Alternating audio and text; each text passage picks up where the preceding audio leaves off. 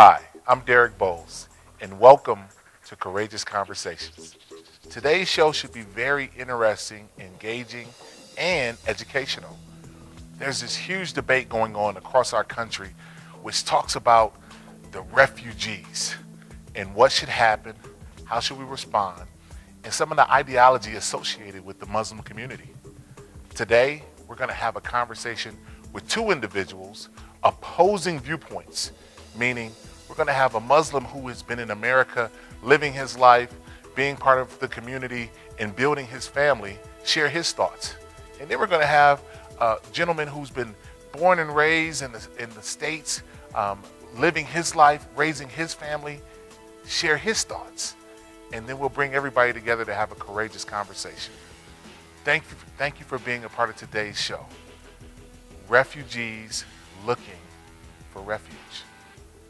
Courageous Conversations with Derrick Boles is brought to you by Patriot Pawn and Gun, with three Treasure Valley locations to serve you. Hi, folks. Alex from Patriot Pawn and Gun. I want to personally invite you to shop our stores. Patriot Pawn and Gun is locally owned and operated, and we want your business. At Patriot Pawn and Gun, we give you cash for anything guns, jewelry, heck, even stuff like saddles and chainsaws. Eh, almost anything. Patriot Pawn and Gun in Meridian, Star, and Homedale, or online at patriotpawnandgun.com. Patriot Pawn and Gun, we're your local pawn stars.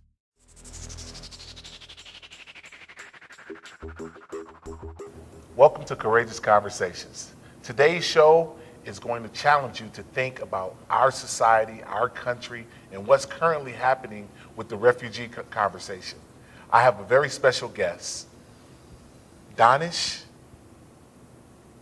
Welcome to the show. Very glad to be here, Derrick. Thank you for having me.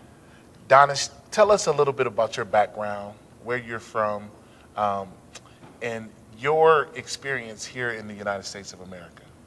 Well, uh, I was born in uh, Dubai, UAE. Uh, it's, uh, now everyone knows where, what kind of a place that is because they see it as this uh, mecca of tourism. But back then it was just a little dot, and uh, I was born there in 1985. My uh, father, when I was born, applied to uh, get a visa to the United States because he wanted greater opportunities for his children than he had for himself. And when I turned eight years old, we got a call and uh, we started going through all of our docs. And my aunt lived here and she said, Hey, if you guys, uh, I have three brothers and we were all little. So they said, If you want to go somewhere, you want to start a business and you want to raise your boys, come to Boise, Idaho. Danesh Ishaq is how we say your name. Yes. And you are currently a practicing Muslim. Yes. Now, as you know, part of today's show and the conversation really revolves around the refugee conversation as well as the ideology of the Muslim community coming to the United States. That's a heavy topic. What are your thoughts just initially on that topic? Well, initially, my thoughts on a topic like that are they're very based on the power that we have as Americans and Idahoans. And I always link back, link this back. I don't really have a lot of statistics and things like that that I talk about, but I have stories, you know, in life. And uh, when in 2001, when uh, the unfortunate events of September 11th happened, my family had a uh, burger restaurant in Meridian called The Den. And the one thing that's so powerful about our community is that 9 11 and the days after were some of the busiest times for the business because people in Meridian, people that knew we were part of the community, just wanted to come by and check up on us to make sure that we were okay, that nobody gave us a hard time. And that, that moment right there made me embrace this community really and say like, wow, this is my home this is a place where you know this is a place where I belong, and uh, this is a place that's worthy of like the talents and love and all the things that we want to put out into the world, right? Absolutely. And Absolutely. Uh, that, and I think that is uh, what I use as kind of the paradigm for my narrative, and it's that what we have in Boise, Idaho, is just so much more powerful. Uh, what we have in Idaho in the Valley, in the United States in general, in a lot of places, is so much more powerful than any rhetoric. Right. And that's the freedom to have courageous conversations, the freedom to have ideas and have those ideas critically assessed by opposing ideas Yes. without having to criticize or be critical of the individual whose experience led them to those ideas. Right. That's where I feel like the conversation is that we, you know, we're, if we're getting an influx of any population, it's not about what are they going to do when they get here. It's about how are we going to welcome them and make sure that they have the opportunity to grow and really experience the American dream that we all are lucky enough to experience every day. Absolutely. You know, from your experience and, and just based on how you physically look, what have been some of the perceptions, stereotypes, challenges, or even blessings that you have faced just based on your physical appearance? Well, uh, we can start with the negative to get it out of the way. Okay. So there's uh, there's there's challenges, of course. Uh, I think my mother actually has a really hard time with me looking this way and having this aesthetic because she worries about how I'll be perceived. Yep. And she's worried that someone might perceive me the wrong way and want to uh, want to hurt me because they assume assume something Right. because of my aesthetic. Um, airports, they're always a very interesting, interesting situation because you'll have those that are very critical, and you'll get to go through a lot of searches and things like that.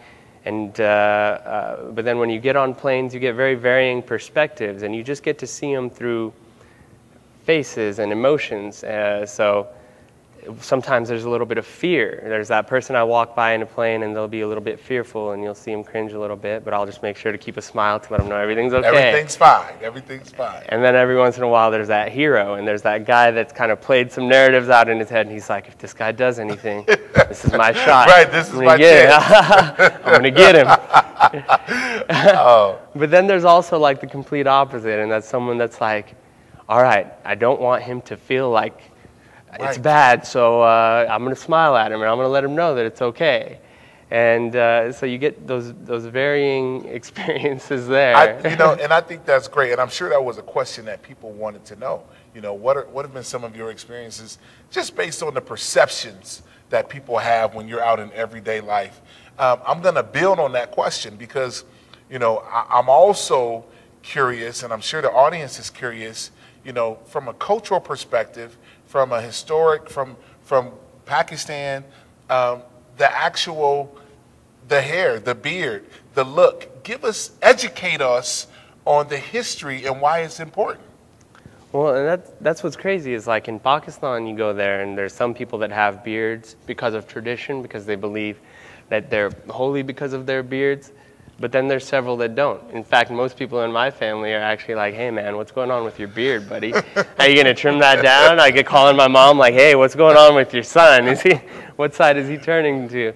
And uh, for me, when I started realizing how much people defined another individual by their beard, I thought, you know, it's kind of my responsibility because I'm able to have a dialogue, because I'm able to be kind, because I'm able to smile.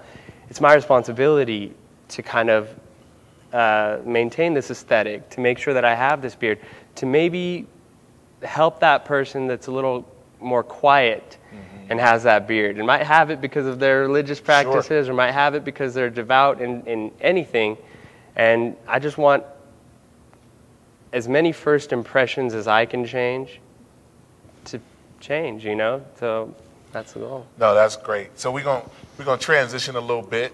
We're going to talk a little bit about, you know, you're here transition from an immigrant immigrant, but let's talk about the refugee issue.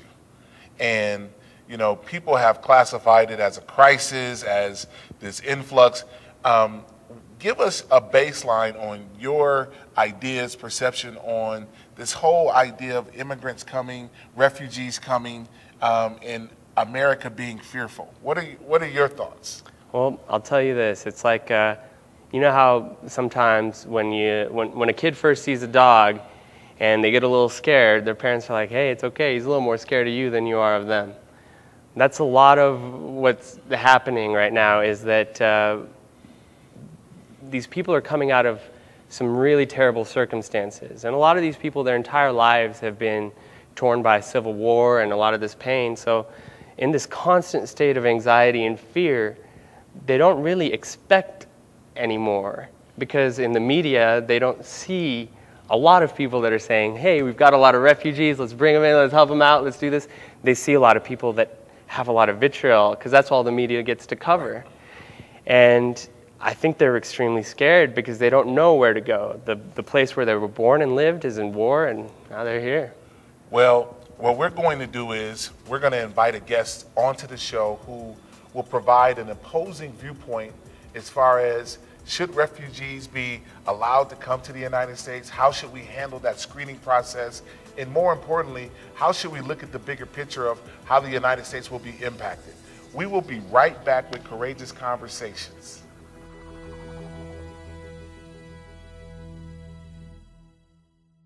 Hi, folks. Alex from Patriot Pawn and Gun.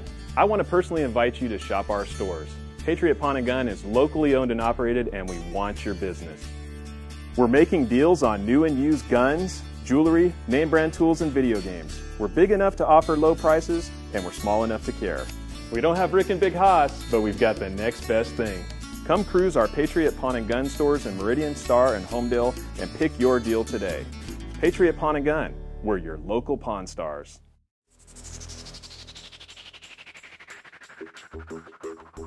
Welcome back to Courageous Conversations.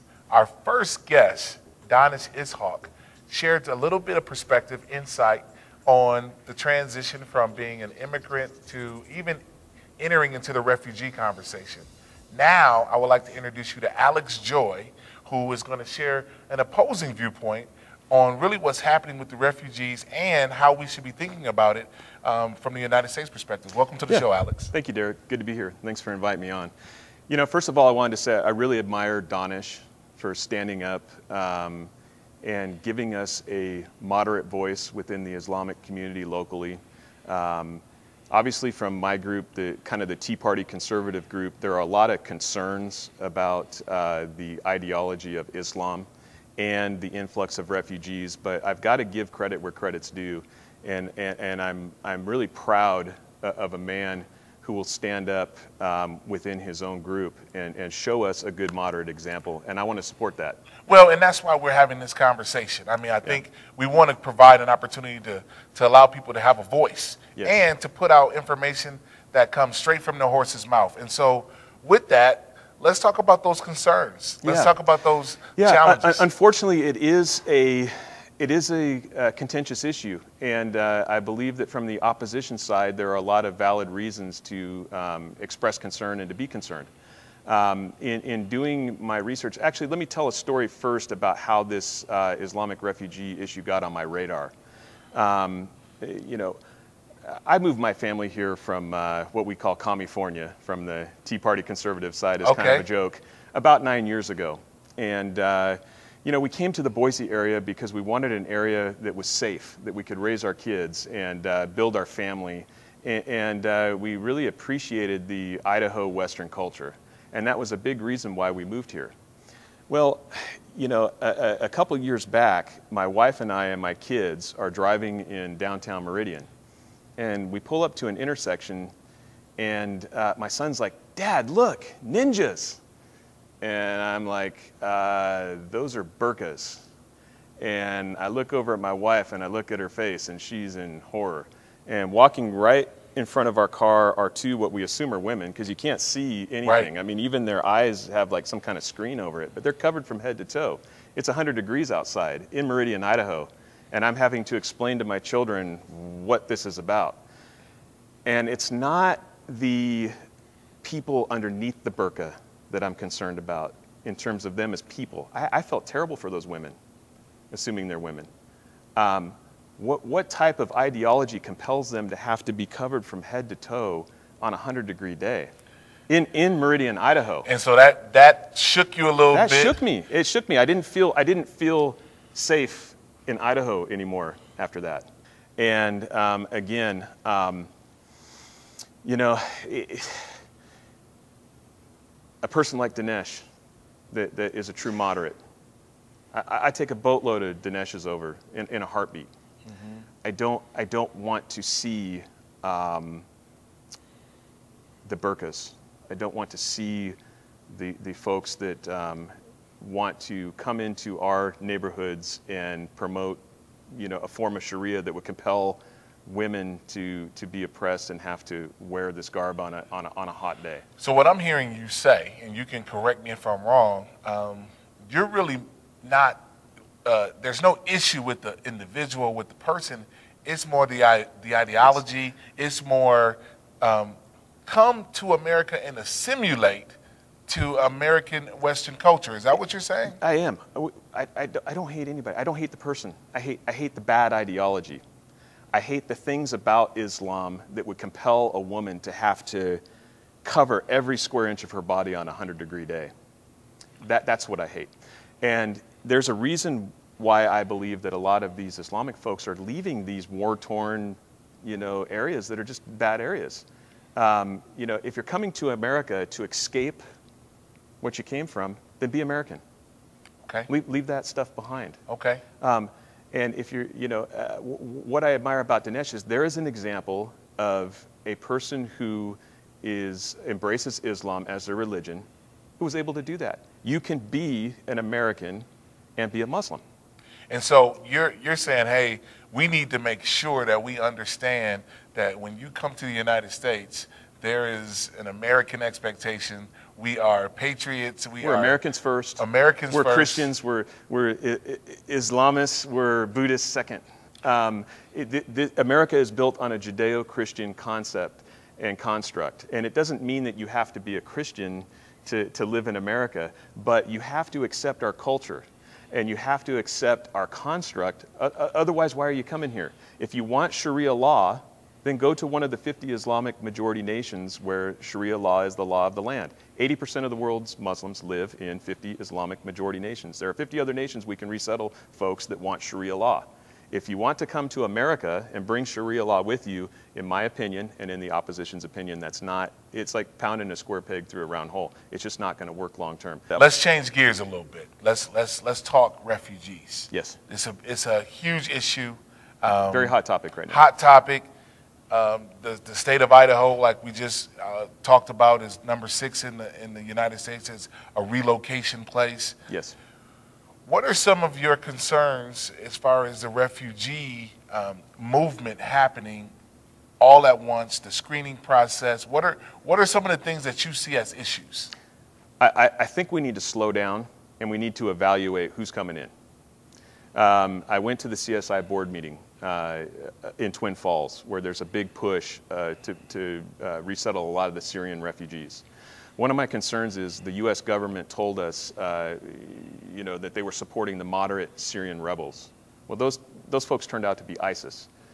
Uh, and now we're being told that they want to resettle moderate Syrian refugees. I, th- there's a lot of distrust in the American government um, it's hard to believe what they're telling us anymore. And it's either incompetence or it's intentional, but there is a concern there.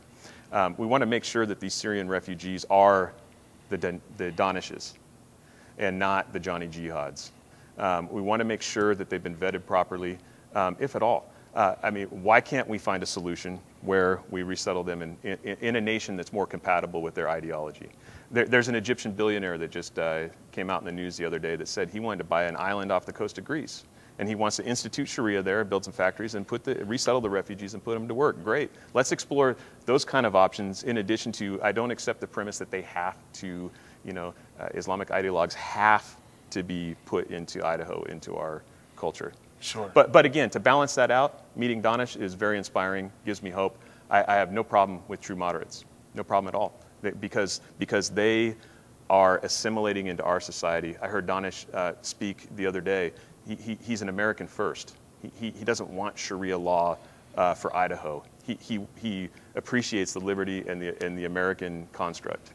Well, and one of the things about today's show and this courageous conversation is we're going to have an opportunity to bring Danesh and Alex together and we're going to have a conversation. We're going to discuss the different um, viewpoints and try to figure out how we can come together to make sure that we're not judging, assuming, or making false uh, uh, statements in regards to what's happening in our country.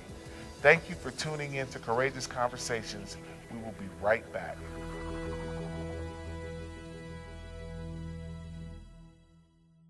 Hi, folks. Alex from Patriot Pawn and Gun. I want to personally invite you to shop our stores. Patriot Pawn and Gun is locally owned and operated, and we want your business. At Patriot Pawn and Gun, we give you cash for anything guns, jewelry, heck, even stuff like saddles and chainsaws. Eh, almost anything. Patriot Pawn and Gun in Meridian, Star, and Homedale, or online at patriotpawnandgun.com. Patriot Pawn and Gun, we're your local pawn stars.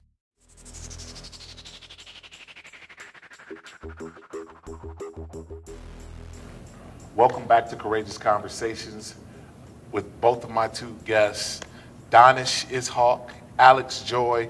We've been having a very sober conversation about the refugees, um, looking for refuge, stereotypes, overcoming stereotypes, living life, and being American citizens.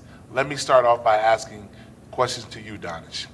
How do you feel we can rectify the refugee situation and some of the stereotypes associated with it? Well, one thing is to say uh, in, in situations where someone is oppressed as a woman, or if uh, in Alex's situation, he was talking about the women in burqas, right? So if, the, if our issue is women's rights, then we have to look at whichever community they settle in for there to be support for women, organizations like the Women's and Children's Alliances, places that they can go if they feel suppressed or abused. And then also remember that there's a lot of women that by choice choose to wear those burqas and are, are not suppressed into it. It's actually just their modesty or ideal, which is a lot of my aunts, that they run their houses. There's no way their husbands could tell them to do anything but they choose to wear that burqa because it's their tradition. It's part of their tradition. Thank you. You know, Alex, I want to ask you more, you know, in alignment with um, how do we help to mitigate and remove some of the fear associated with the ideology of, you know, the Muslim community, some of the, the uh, stereotypes of ISIS being part of the refugee movement. What should we be doing? Yeah, it, it, it's a tough issue to resolve. Um, again, it's very encouraging to meet Danesh and, uh, and, to, and to hear that perspective because from, you know, from the uh, white American conservative perspective, it's, uh, we can only see what we can see. It's like trying to explain blue to someone that's colorblind. Um, he, he sees it from a different perspective, and me hearing that a woman wants to wear the burqa, it's hard for me to understand that.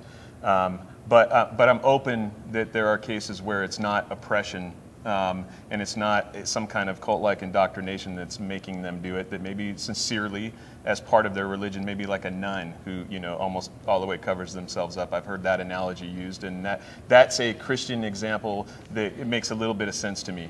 Nuns, you know, walk around all covered up almost. So you know, and that's a different perspective, and that's why we need to have these conversations because I can only see through the lens and experience I have, and he sees through the lens and experience he has. And my opinions have changed a little bit. At first, I was opposed completely to any Islamic refugees. Now, I, you know, from my perspective, I'm more open if the screening is done well. If we can have people like Danesh as refugees, and some of the good success stories I saw at the CSI board meeting I'm open to it. At the same time, I think we need to be responsible. We can't just, uh, you know, there are there is evil in the world. There are bad guys looking to exploit the refugee Absolutely. programs. ISIS and Al Qaeda are openly saying that they want to use these programs to get their bad people here. So we need to be paying attention, but we also need to be open to the concept and educating ourselves to other people's culture, other people's um, background history, with the understanding that we're all humans. Is that a fair assessment? I agree. We need to find a balance. We need to be responsible, but at the same time, we can't be so cynical that we're going to write a, a, a, really good guy like Dinesh off just because he's Muslim. Well, and this is a courageous conversation. And so, what I would like to do is, I want to give you both about 15 seconds, if you can honor that, to just give us your closing thoughts that you want the audience to take away from this show. One of the greatest results of a Syrian refugee is a man named Steve Jobs. His father came here uh, as a war refugee. He went to college and had a child with a Catholic woman. Her father did not want her to marry him and put the child up for adoption, and that child ended up changing the world.